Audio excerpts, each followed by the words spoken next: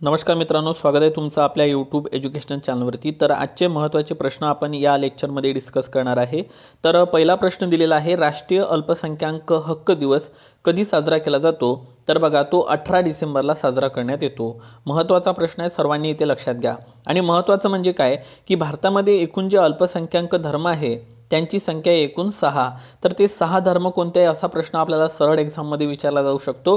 तर लक्षात असू द्या मुस्लिम ख्रिश्चन शीख बौद्ध पारशी जैन या सहा धर्मांना भारतामध्ये अल्पसंख्याक धर्म म्हणून मान्यता आहे. मात्र याच्यामध्ये जू आलं तर ते आन्सर घ्यायचं नाही. कारण भारतामध्ये फक्त सहाच धर्म अल्पसंख्याक धर्म आहे. मग घटनेमध्ये अल्पसंख्याक धर्मासंबंधी तरतुदी आहे का? तर आहे. कलम एकोणतीसमध्ये अल्पसंख्याक लोकांना भाषा लिपी संस्कृती जतन करण्याचे काय आहे? अधिकार आहे. म्हणजेच कोणत्याही नागरी गटाला आपली भाषा लिपी आणि संस्कृतीचे जतन करण्याचे काय देण्यात आलेले आहे? अधिकार देण्यात आलेले आहे. नंतर कलम तीस. कलम तीस काय म्हणते? अल्पसंख्याकांना शैक्षणिक संस्था स्थापन करण्याचा अधिकार देण्यात आलेला आहे. विधान चुकीबरोबर तर बरोबर आहे. त्यामुळे जर पेपरमध्ये तुम्हाला विचारलं की कोणत्याही नागरी गटाला भाषा लिपी संस्कृती जतन करण्याचे अधिकार कोणती कलम? तर त्याचं उत्तर एकोणतीस घ्यायचं. आणि अल्पसंख्याकांना शैक्षणिक संस्था स्थापन करण्याचा अधिकार असं जर विचारलं असेल तर उत्तर तीस घ्यायचं. तीस आणि तीसमध्ये कन्फ्युजनमध्ये असतात. तर हे पॉईंट तुम्ही लक्षात घ्या. मग आता एकोणतीस आणि तीस हे घटनेच्या भाग कितीमध्ये येते? तर तीनमध्ये येते. कारण तुम्हाला सर्वांना माहीत आहे की मूलभूत हक्क जे आहे मित्रांनो ओके मूलभूत हक्क हे घटनेच्या भाग तीनमध्ये असून बारा ते पस्तीसपर्यंत येतात. कलम बारा ते कलम पस्तीस म्हणजे एकोणतीस आणि तीस त्याच्यामध्ये येतात. तर हा पॉईंट सर्वांनी इथे लक्षात घ्या. त्यानंतर बघा पहिल्या महिला आद्य क्रांतिकारक कोण होत्या? तर त्या होत्या मादाम भिकाजी कामा. महत्त्वाचा पॉईंट आहे. ओके. भारताच्या पहिल्या महिला आद्य क्रांतिकारक कोण? त्या होत्या मादाम भिकाजी कामा. आणि त्यांनी एकोणीसशे सातमध्ये स्टुटगार्ड जर्मनी या ठिकाणी भारताचा राष्ट्रध्वज फडकविला होता. तर हा पॉईंट सर्वांनी इथे नोटीस करा. मग आपल्या महाराष्ट्राचे आपल्या महाराष्ट्राचे पहिले आद्य क्रांतिकारक कोण होते? तर ते होते वासुदेव बळवंत फडके. हे सुद्धा नाव तुम्हाला इथे लक्षात ठेवायचं आहे. मित्रांनो क्रांतिकारकांचे बायबल कोणत्या कादंबरीला म्हटलं जाते? तर आनंदमठ या कादंबरीला म्हटलं जाते. आनंदमठ कादंबरी बकिमचंद्र चॅटर्जी यांनी लिहिलेली होती. आणि त्यामधूनच लक्षात घ्या आपण वंदे मातरम गीत घेतलेलं आहे. ओके वंदे मातरम गीत लक्षात असू द्या. मात्र वंदे मातरम वृत्तपत्र कोणी लिहिलं? तर हे लिहिलेलं होतं अरविंद घोष यांनी. हा पण एक पॉईंट इथे लक्षात ठेवा. नंतर करंट अफेअर्सचा पुढचा प्रश्न आहे आपल्या लेक्चरमधला की अटल पेन्शन योजना कधी सुरू करण्यात आली होती? नऊ मे दोन हजार पंधराला. कारण मित्रांनो अलीकडे ही योजना चर्चेमध्ये आहे तर तो पॉईंट व्यवस्थित पाठ करून घ्या. असंघटित क्षेत्रातील कामगारांसाठी ही योजना नऊ मे दोन हजार पंधराला सुरू झालेली होती. ठीक आहे? पेपरमध्ये एक मे वगैरे टाकू शकेल. त्यामुळे लक्षात ठेवा नऊ मे दोन हजार पंधरा आपल्याला पाठ ठेवायचं आहे. त्यानंतर बी सी सी आयने जर्सी नंबर सात निवृत्त करण्याची घोषणा केलेली आहे. तुम्हाला सर्वांना माहीत आहे महेंद्रसिंग धोनी यांच्या जर्सीचा नंबर सात नंबर होता. तर बी सी सी आयने हा नंबर आता निवृत्त करण्याची घोषणा केलेली आहे. तर मग आपल्याला बी सी सी आयबद्दल माहिती असली पाहिजे की बी सी सी आयची स्थापना एकोणीसशे अठ्ठावीसमध्ये करण्यात आली होती. मुख्यालय आहे मुंबईला. बी सी सी आयचे अध्यक्ष आहे सध्या रॉजर बिन्नी.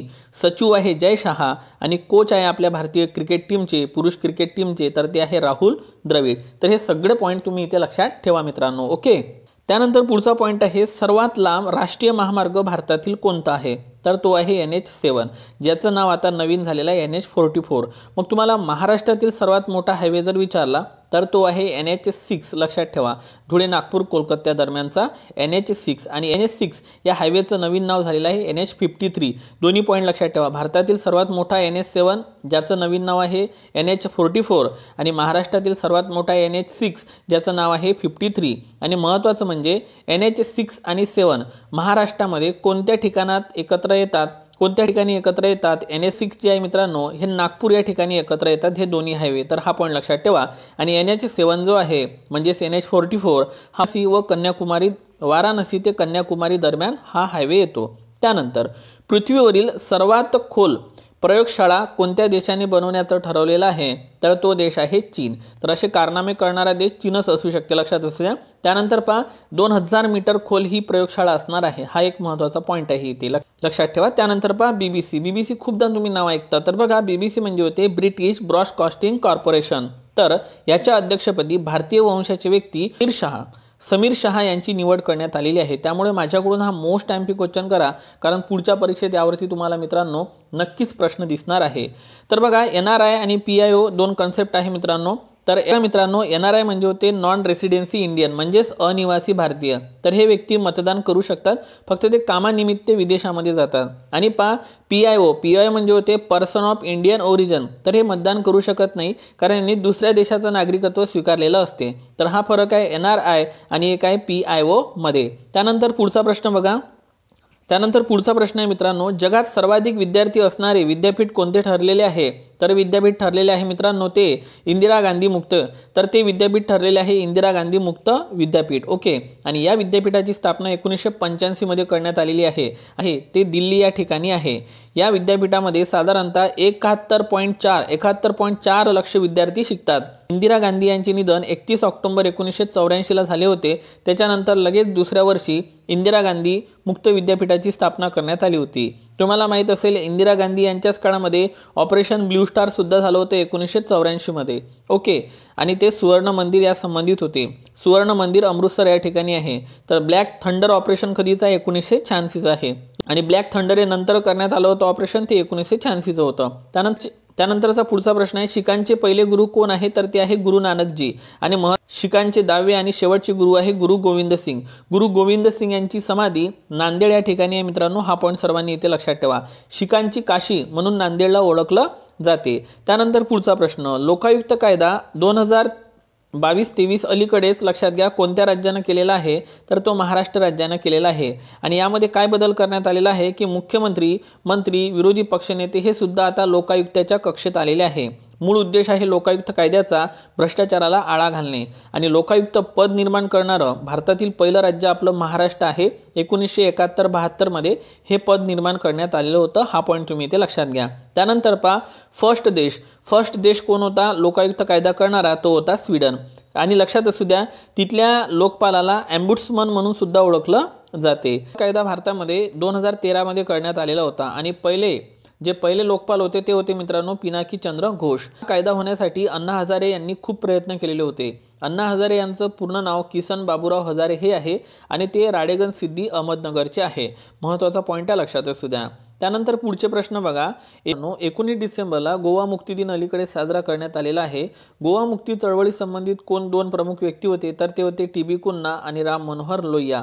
मित्रांनो पोर्तुगीजांनी गोवा हा पंधराशे दहामध्ये आदिलशाह यांच्याकडून ताब्यात घेतलेला होता जिंकलेला होता. आणि नंतर आपण लक्षात घ्या एकोणवीस डिसेंबर एकोणीसशे एकसष्टला भारत सरकारद्वारे ऑपरेशन विजय राबवण्यात आले आणि गोवा आपण आपल्या ताब्यात मिळवला होता आणि गोवा आपण पोर्तुगीजांपासून मिळवला. मग सुरुवातीला गोव्याला केंद्रशासित प्रदेशाचा दर्जा बाराव्या घटनादुरुस्तीनुसार देण्यात आला होता आणि नंतर गोवा हे पंचवीसवं राज्य घोषित करण्यात आलं छप्पनवी घटनादुरुस्ती एकोणीसशे सत्त्याऐंशी अनन्वे तीस मे एकोणीसशे सत्त्याऐंशीला. म्हणजेच गोवा सुरुवातीला केंद्रशासित प्रदेश होतं तर ते आता भारताचं पंचवीसवं राज्य बनलेलं होतं एकोणीसशे सत्त्याऐंशीमध्ये मित्रांनो हा पुढचा पॉईंट महत्त्वाचा आहे की इटली देशाचा सर्वोच्च नागरी पुरस्कार ऑर्डर ऑफ मेरिट कोणाला देण्यात आलेला आहे? तर कबीर बेदी यांना देण्यात आलेला आहे. मित्रांनो इथं ऑप्शनमध्ये तुम्हाला किरण बेदी वगैरे सुद्धा येऊ शकते. ओके सो आडनाव सेम सेम आहे त्यामुळे लक्षात ठेवायचं. मात्र भारताच्या पहिल्या महिला आय पी एस कोण होत्या? त्या होत्या किरण बेदी. ठीक आहे? परंतु हा अवॉर्ड ज्येष्ठ अभिनेते कबीर बेदी यांना देण्यात आलेला आहे. त्यानंतर पर्यटनाला चालना देण्यासाठी त्रिपुरा राज्याचे ब्रँड ॲम्बेसिडर म्हणून कोणाची निवड करण्यात आलेली आहे? तर सौरव गांगुली यांची निवड करण्यात आलेली आहे. आणि हा महत्त्वाचा प्रश्न आहे. हा पुढच्या परीक्षेमध्ये आपल्याला दिसेल मित्रांनो. लक्षात असू द्या. पंचवीस जानेवारीला राष्ट्रीय पर्यटन दिवस असतो राष्ट्रीय मतदार दिवस पण असतो आपल्या सर्वांना माहीत आहे. मात्र जागतिक पर्यटन दिवस कधी असतो तर तो असतो सत्तावीस सप्टेंबरला. आणि अलीकडेच डिपार्टमेंटल पी एस आयमध्ये या सत्तावीस सप्टेंबरच्या दिनाची थीमसुद्धा विचारली होती. थीम होती पर्यटन आणि हरित गुंतवणूक टुरिझम अँड ग्रीन इन्व्हेस्टमेंट लक्षात असू द्या. तर पुढचा प्रश्न येऊ शकतो आपल्याला पेपरमध्ये की पी एम डिवाईन योजना काय आहे? तर सगळ्यांनी लक्षात घ्या ही योजना नॉर्थ ईस्टर्न संबंधित आहे. म्हणजे आपला जो ईशान ईशान्य भारत आहे त्या संबंधित आहे. आणि फुलफॉर्म होतो prime minister development initiative for north eastern region म्हणजे लक्षात घ्या डेव्हलपमेंट विकासासाठी ही योजना सुरू करण्यात आली आहे. आणि शंभर टक्के हे केंद्र पुरस्कृत योजना आहे. माझ्याकडून मोस्ट टाइम करा हा प्रश्न तुम्हाला पेपरमध्ये येऊ शकतो. सुरुवात आहे बावीस तेवीसची. त्यानंतर पहा कॉप ट्वेंटी नाईन कुठं होणार आहे? कॉन्फरन्स ऑफ पार्टी ते बाकू अझरबैजान या ठिकाणी होणार आहे. ट्वेंटी एट दुबई यू या ठिकाणी पार पडली दोन हजार तेवीसची. कॉप ट्वेंटी सेवन इजिप्त मिस्र दोन हजार बावीस ग्लासगो स्कॉटलँडमध्ये कॉप ट्वेंटी सिक्स पार पडली होती दोन हजार एकवीसमध्ये. आणि कॉप ट्वेंटी वन लक्षात ठेवायचा आपल्याला कारण हा पॅरिस करार आहे मित्रांनो. पॅरिस करार दोन हजार पंधराचा होता आणि लक्षात घ्या ते कॉप ट्वेंटी वन ही परिषद होती पॅरिस फ्रान्स या ठिकाणी भरलेली. म्हणून तो पॅरिस करार होता. वन जे मित्रांनो फर्स्ट टाइम बर्लिन जर्मनी या ठिकाणी एकोणीसशे पंच्याण्णवला भरली होती. ओके सो कॉप वन कुठं भरली होती असा प्रश्न आला तर उत्तर लक्षात ठेवायचं आहे बर्लिन जर्मनी. आणि साल लक्षात ठेवायचं आहे एकोणीसशे पंच्याण्णव कारण प्रश्न महत्त्वाचा आहे. त्यानंतर शेवटचे दोन प्रश्न बघा मित्रांनो. रेमिटन्स प्राप्त करणारा जगातील पहिला देश कोणता ठरलेला आहे? तो ठरलेला आहे भारत. आता रेमिटन्स म्हणजे काय होते? की भारतातले व्यक्ती विदेशामध्ये काम करण्यासाठी जातात. ते तिथून आपल्या भारतामधील नातेवाईक मित्र यांना हे पैसे वगैरे पाठवत असतात. त्याला रेमिटन्स असं म्हटलं जाते. आणि जवळपास एकशे पंचवीस अब्ज डॉलर लक्षात असू द्या. जवळपास एकशे पंचवीस अब्ज डॉलर यावर्षी आपण पाठवलेले आहे. त्यामुळं याला रेमिटन्स म्हटलं जाते. आणि रेमिटन्स प्राप्त करणारा जगातला पहिल्या नंबरचा देश ठरलेला आहे मित्रांनो. प्रथम क्रमांकाचा देश ठरला आहे भारत दुसरा मेक्सिको आणि तिसरा चीन. एक वेळा हे व्यवस्थित बघून घ्या. पहिला देश तुम्ही कन्फर्म पाठ ठेवायचा आहे भारत. ओके सो रेमिटन्स प्राप्त करणारा पहिला देश आहे आपला भारत. ओके आणि सध्या आकाश मिसाईल चर्चेमध्ये आहे. लक्षात घ्या. कोणतं मिसाईल? आकाश मिसाईल सध्या चर्चेमध्ये आहे. तर हे जमिनीवरून हवेत मारा करते मित्र लक्षात घ्या. आणि डी आर डी ओने याची निर्मिती केलेली आहे. मग डी आर डी ओची स्थापना कधीची आहे? एक जानेवारी एकोणीसशे अठ्ठावन्नची आहे. डी आर डी ओचं मुख्यालय कुठे आहे? दिल्लीला. तर डी आर डी ओचे अध्यक्ष कोण आहे? ते मला नक्की खाली कमेंट बॉक्समध्ये सांगा मित्रांनो. आणि महत्त्वाचं म्हणजे का बरं हे आकाश मिसाईल चर्चेमध्ये होतं? कारण आकाश मिसाईल हे एकाच वेळेस चार टार्गेटला काय करणार आहे? निशाण्यावर घेणार आहे. त्यामुळे हा पॉईंट लक्षात ठेवायचा आहे. कारण आकाश जे मिसाईल आहे हे एकाच वेळेस चार टार्गेट क्लिअर करणार आहे मित्रांनो. ओके सो हा महत्त्वाचा पॉईंट तुम्हाला इथे लक्षात ठेवायचा आहे.